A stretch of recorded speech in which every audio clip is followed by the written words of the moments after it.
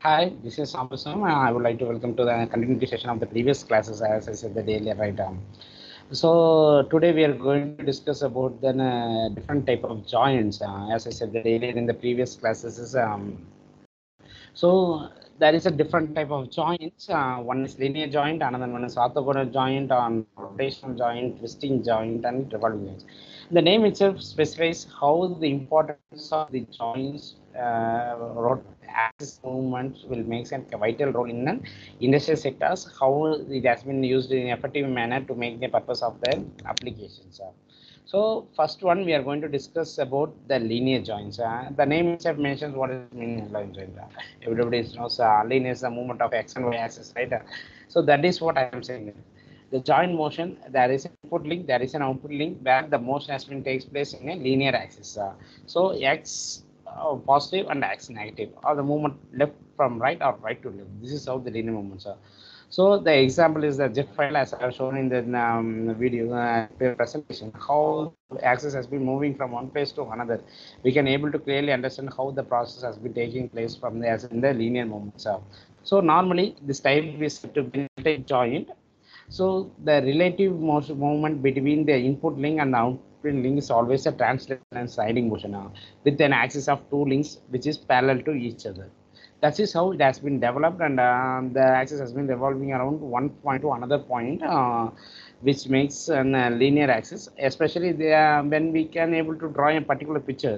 This axis has uh, the pencil has been fixed in one position. We can able to move on x or y or z directions on one particularly in front or back motions not in axisal motions. So it has been developed. So when we go for the next type of joint is uh, orthogonal uh, everybody knows what is mean by orthogonal. If there is any question uh, you can understand what do you mean by orthogonal. Think about for a second and just as uh, think it and before going to the session. So from the picture itself since there is a joint motion. The output link is uh, obtained in the lower order and the input link has been kept in the upper so the movement of transaction has been taken when you see that uh, so one moment it is uh, when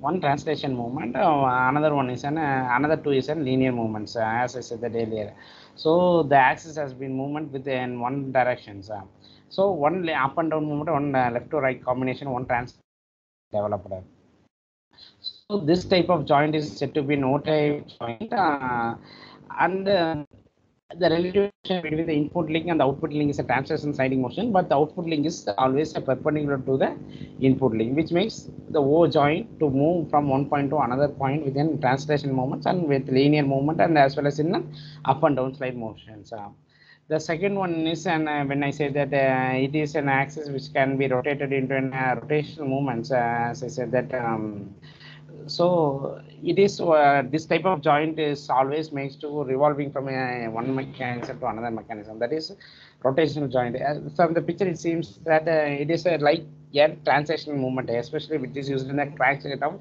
uh, heavy duty trucks. Um, so the one rotation movement the output link makes means the torque movements which is easier to movement of from this set of movement um, uh, provides a rotation uh, relative motion with an axis of rotation perpendicular to the axis of input and the output axis. Uh. The next one is a twisting movement and the name itself it is like twisting like touches. Uh, so the, the twisting touches. The picture seems uh, the GIF file seems how it has been uh, twisted with. It's like twisting your arms, uh, or twisting your arms or something else. Uh, how the torque has been transferred from one point to another point. This has been developed and it has been exercised in the twisting movements. Um, so this type of joint is said to be a T-type joint and um, normally it provides a rotary motion but the axis of rotation is parallel to the axis of the two links which is attached to a robot arm. And uh, as I said, this is one of the important factors uh, while in considering for transferring of um, uh, power, uh, especially in a crankshaft mechanism or something uh, where the torque plays a major role. So, So the final one we are going to search revolving joint. Uh, so the name itself revolving. So the revolving is twisting of the particles, uh, right?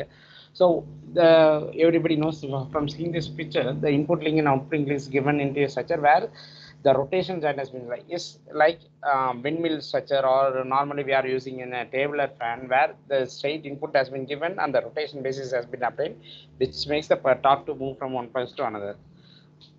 The GIF file shows how the robot has been twisted to one place to another place.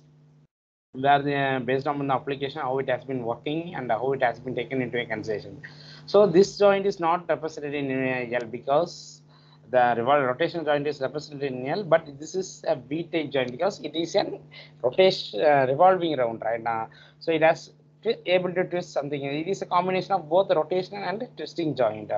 So the axis of the input link is parallel to the axis of rotation of the particular joint and the axis of the output link is perpendicular to the axis of the rotation which has been developed and it has been moved around from one place to another place. Um, so uh, that is I have given the represent the video links which makes how the impact has been take place and uh, how it has been developed.